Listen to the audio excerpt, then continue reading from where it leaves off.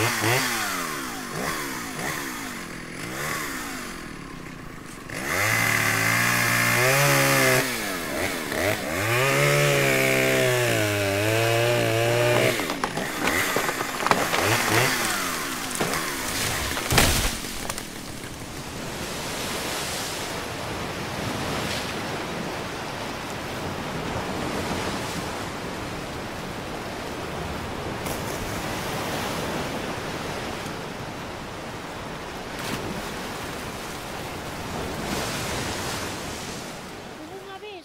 Portugal, fui abaixo unha ponte cun, cun autobús de xente dentro.